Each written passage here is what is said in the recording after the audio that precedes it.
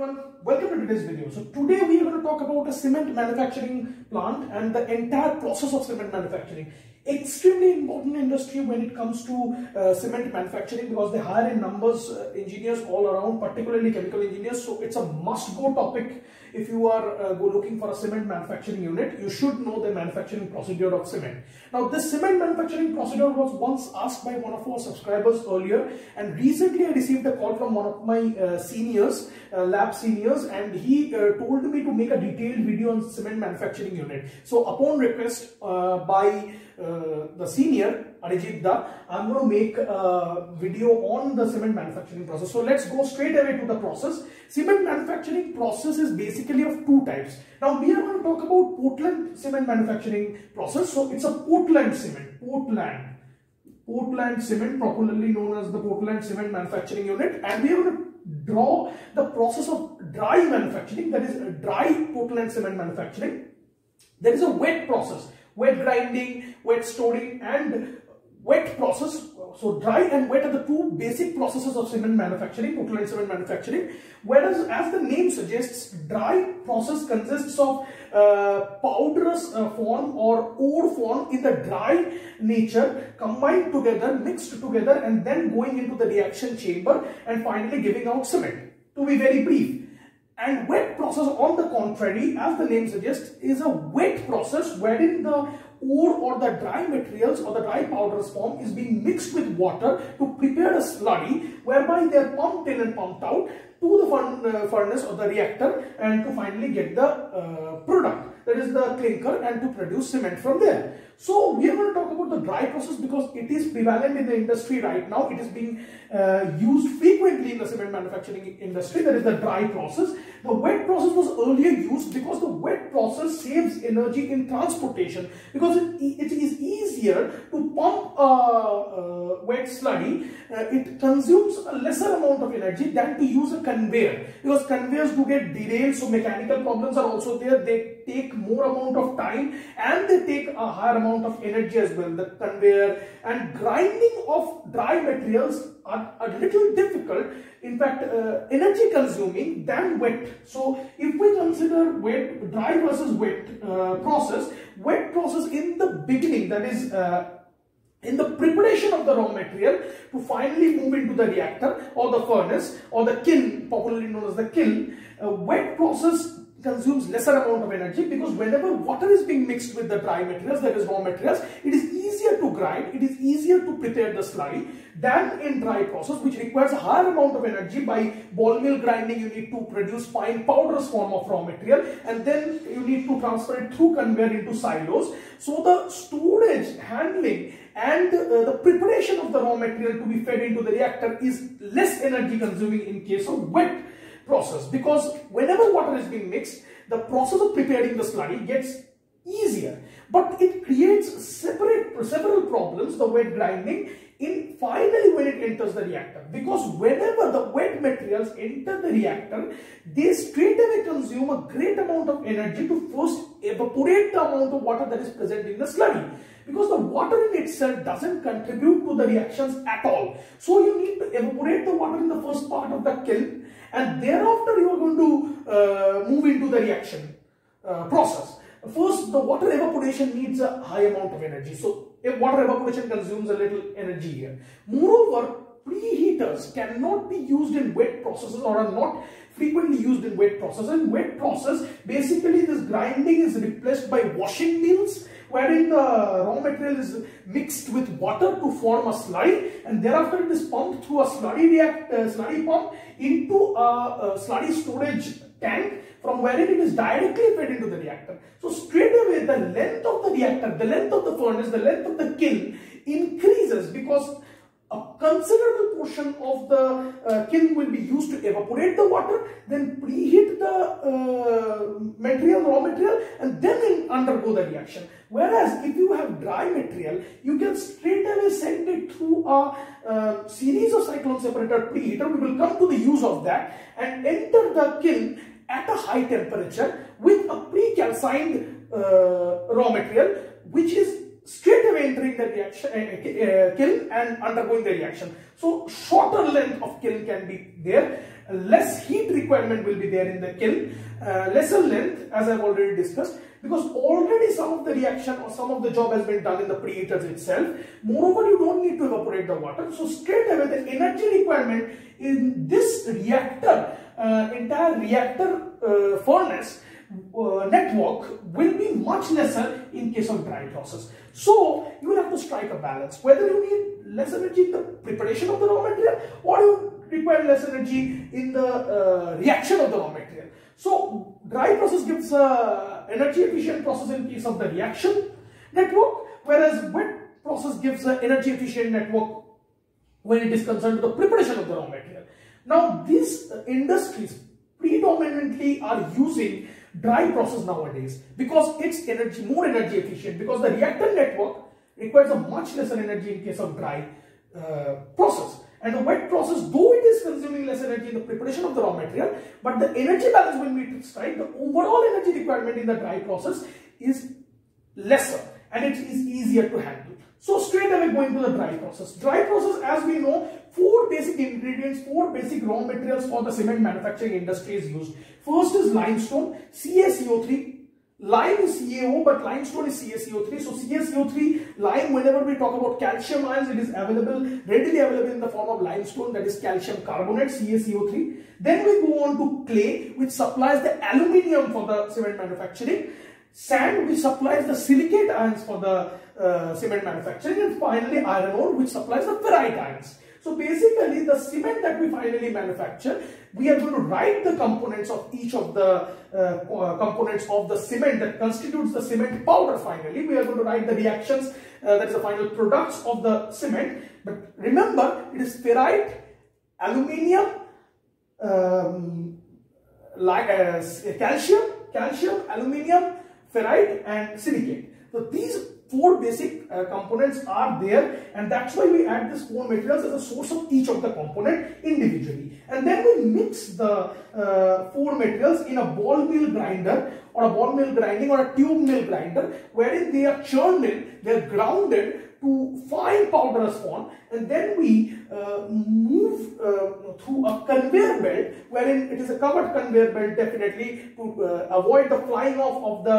um, fine powders material and then we store it in the silo and from the silo we move into the preheater network. Now this is the most interesting thing. The preparation is done by mostly grinding, grinding in steps and definitely uh, to the desirable size moved in through a conveyor to a raw material storage silo wherein all the components four basic components uh, that is calcium source of calcium source of aluminium source of silicate ions and finally source of iron ferrite ferrite ions. So these four basic sources are combined as a powder spawn and stored in a raw material storage silo. Till this the network is clear i guess in the powder's form. So grinding in series is done. Ball mill grinding or tube mill grinding is done. Now we come to the most important network that is the preheater network. Now when we talk of forming cement powder, let us be very clear on this portion. We need these all four materials to combine at high temperature and react among themselves to form calcium silicates, calcium aluminates and calcium uh, mm, ferrites, calcium aluminium ferrites. So we understand that calcium is the most important material. So limestone is constituting about 80 to 90% of the feed into the cement kiln. So in the reactor, calcium is the main product. It reacts with silicates to form calcium silicates. It reacts with aluminium to form calcium aluminates. And finally, it reacts with uh, ferrite ions to form calcium aluminum ferrites. And these three particles, these three compounds are the basic constituents of the cement that we manufacture. Along with it, some gypsum is mixed at the end of the process. We will come to that, why gypsum is used and why do we need to at all mix gypsum and uh, produce cement out of it. So, going into the reactor, uh, we understand that the four basic materials are there, calcium, silica, uh, aluminium and ferrite.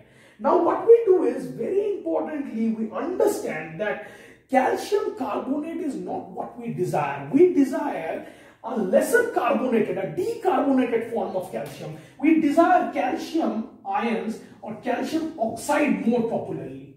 We desire it in the furnace. We need to feed calcium oxide ions.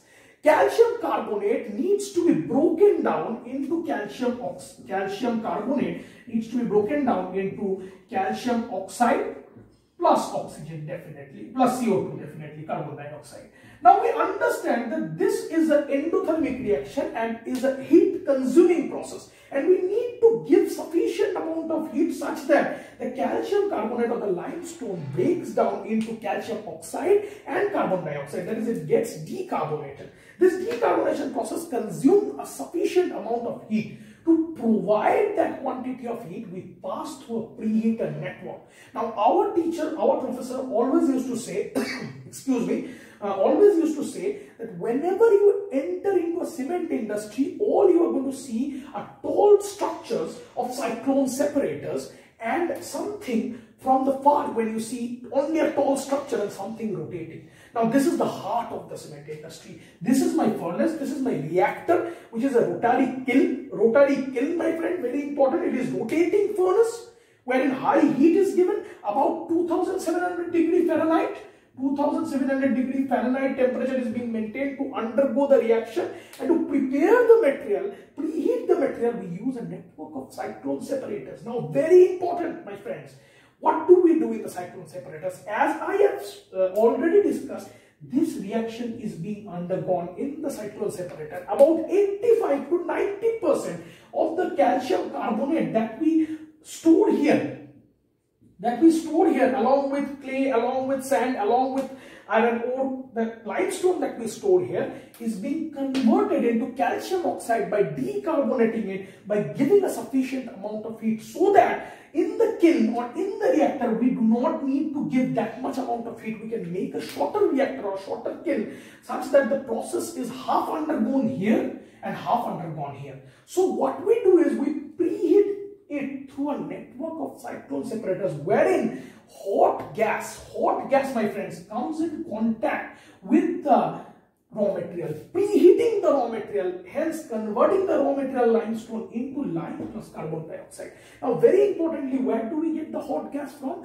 The hot gas is nothing but the flue gas that is obtained by burning off of the fuel inside the rotary kiln. We feed in the fuel, we feed in coal, substantially coal, substantially diesel oil. All of these are carbon sources. Whichever sources give heat is a carbon source. And in the process, CO2 is being formed. Carbon dioxide is being formed and some acidic gases may be formed. Acidic gases may be formed. Uh, sulfur, so hydrogen sulfide may be formed. And in the process, what happens is these uh, flue gases, the flue gases from the kiln itself, from the reactor itself, whatever gases coming out, hot flue gases, hot flue gases, my friends, move into the network of cyclone separators wherein three, four, five cyclone separators are given in series. What it does is, since this flue gases, hot flue gases carries fines with itself, fines of powderous material flying off, entrained off with the gas. We need to separate it from the hot flue gases. So we need cyclone separators or electrostatic precipitators. When we use cyclone separators, these cyclone separators, by the technology itself, as we know the function of cyclone separators, it is a solid gas separation chamber wherein the solids fall down. The solids fall down and the gas exits through up of the reactor. So gases exit and solids by striking the walls of the cyclone separator falls down. So cyclone separators, a series of cyclone separators is used to arrest the fine powder that is being carried off with the hot flue gas and this hot flue gas is giving energy or giving its heat enough to these raw materials transferred through the silo into the preheater network or pre-calciner network. My very importantly, my friend, this is called cyclone preheaters or pre-calciners. Pre-calciners. Why pre-calciners? Why pre-calciners, my friend? Because this is the calcination process. This is the calcination process wherein the limestone is broken down into CaO and CO2 substantially and this is done by the heat provided by the hot gases coming from the flue gases of the rotary kiln or rotary furnace that is your reactor. So it's like almost the same source to preheat, like using the end products to preheat the incoming raw materials. So whenever this reaches this stage, a preheater is often used separately to further convert the CaCO3 into CaO plus CO2 and give enough heat such that it reaches a preheated temperature to enter the reactor. And once it enters the reactor, my friends, at 2700 degree Fahrenheit, these particles do combine with one another, mixes up with one another, and finally exits exits this 500 feet, almost 500 feet is the length of the rotary kiln, and the kiln is tilted down. It's tilted down. So what happens is when it rotates, it combines, the materials combine and they move, tend to move under the gravitational force downwards. And when it exits this kiln, it is exiting at a high temperature, forming clinkers and falling on the cooling grate. If you can see this, this is the cooling grate. So there undergoes the cooling and clinkers are formed. Now famously this term you will hear in the uh, cement industry that clinkers are coming out of the kiln. So it's like solidified mass, chunks of solidified mass coming out from the exit of the reactor wherein already calcium silicates, calcium aluminates and calcium aluminum ferrites are formed. So you have substantially and potentially produced your main component for the cement industry. Now, as you get the clinkers, you cool down the clinkers. You cool down the clinkers so the clinkers gets cooled down, they solidify further. And once they solidify further, you can use this energy uh, that you have basically gathered from the hot clinkers to as a fuel. So you can use this amount of energy as a fuel as well from the cooling grate. If you have a mechanism where you can use this heat of the clinkers as a fuel itself. So you are striking an energy balance and you're utilizing all the heat. Now the cooled down clinkers move in to be mixed with gypsum and grounded into fine powder and this combination with gypsum this material when it gets converted into a fine powder it's a gray powder and this is what we call Portland cement and the cement is manufactured. Now finally talking about why gypsum. Very important. Why gypsum is being mixed with this calcium silicates, aluminates and ferrites. Why do we need at all gypsum? Gypsum prevents the setting, the quick setting of cement. What is the use of cement? Cement is basically used as a setting material. That is to stick in uh, between two bricks and setting them up as an adhesive. So Whenever cement is being mixed with, hydrated with water and applied, it acts as a setting material. That is, it is uh, mm, basically uh, structured. Basically, it holds on to side bricks and brings them together. And this cement, whenever we mix it with water, it forms a slurry-like structure. But if we do not mix in gypsum, this slurry will immediately set. Immediately set. So it solidifies immediately to prevent immediate solidification of the hydrated cement whenever cement is mixed with water gypsum is being used. Gypsum what it does it reacts with the calcium aluminates to form uh, sulfoaluminates uh, that is gypsum has CaSO4 so it has sulfates so this sulfates react with the aluminates calcium aluminates and form uh, potentially um, what do you call it uh, sulfoaluminates which doesn't uh, allow the easy dissolution of the cement in water or doesn't allow the easy setting of cement with water.